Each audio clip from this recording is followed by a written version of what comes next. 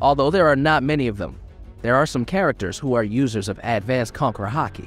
In the One Piece story, the most powerful type of haki and rarely owned by people is Conqueror Haki, because this type of haki is different from the other two types. Both haki are known to be learned and awakened by anyone. However, for Conqueror Haki, not everyone is able to awaken it. Simply put, the haki is a gift which only certain people have. It is known that there are several characters who are still alive and are users of the Advanced Conqueror Haki. Here are six living characters confirmed to have Advanced Conqueror Haki. Dark King Rayleigh is the former vice captain of the Roger Pirates. He was the one who trained Luffy during the time skip. In the Sabaody arc, and when the time skip moment occurred, Oda showed that Rayleigh's strength and haki ability was extraordinary. Rayleigh is known to master all three types of Haki.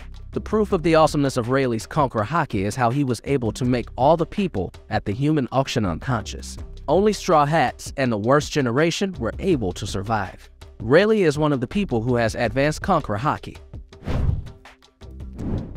The first mate of Monkey D. Luffy, Roronoa Zoro is an exceptionally skilled swordsman who has the ability to use Conqueror's Haki as well.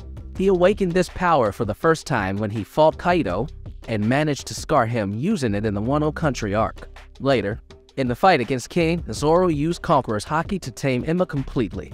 Eventually, Zoro managed to coat all his swords in what appears to be the advanced form of Conqueror's Haki. Yamato is the son of Kaido, so there's absolutely no surprise that he possesses the power to use Conqueror's Haki as well. Yamato awakened this power at the age of 8 and has, since then, been training it. By the age of 28, Yamato is one of the strongest Conqueror's Haki users. What's more, Yamato can now use the advanced form of Conqueror's Haki that allows him to coat himself and his weapons in it as well. In the fight against Kaido, Yamato was able to hold his own and even make him bleed. Luffy was born with Conqueror's Haki, as confirmed by Oda on several instances in the story. In Wano Country, he managed to pick up how to coat his body with the power, making him much stronger. Luffy can use all the forms of basic Conqueror's Haki with great control, and although his advanced Conqueror's Haki usage is a bit crude, right now he's sure to improve it in the future. During his fight against Kaido, he was able to hurt the Yonko and drop him to his knees with just a few punches. Shanks is one of the Yonko in the One Piece world, and is expected of him. He has great command over haki. Although Shanks doesn't have a devil fruit, he has a mastery over all the three haki types. His skill over Conqueror's haki was displayed to the fans when he visited the Moby Dick and caused physical damage to the ship even when suppressing his haki. When fighting against Kid, Shanks uses the Divine Departure technique, a technique coded by Conqueror Haki.